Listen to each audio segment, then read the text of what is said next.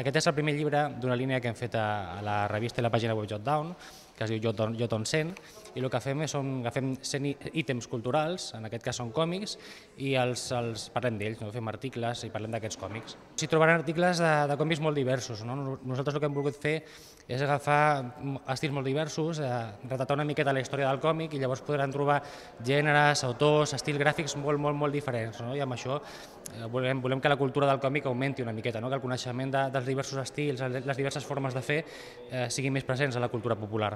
És un llibre que no, no vol ser molt, molt acadèmic, tot i que sí que hi ha uns quants que són experts del, del món del còmic, però hi ha gent d'àmbits molt diferents, no? hi ha algun científic, hi ha algun filòleg, mm, hi ha redactors de, de moltes procedències diverses, no? llavors cadascun d'ells aborda, aborda el, els articles de formes diferents, no? hi ha que ho fa d'una forma molt més acadèmica, hi ha que ho fa d'una forma més des del punt de vista de l'humor, hi ha algú que fa anàlisis més històrics del context històric, llavors cada autor fa una mica, una mica la seva, no? l'estil és molt, molt divers, però crec que és molt, molt entretingut pel, pel lector. De cada còmic treu les seves conclusions concretes, no?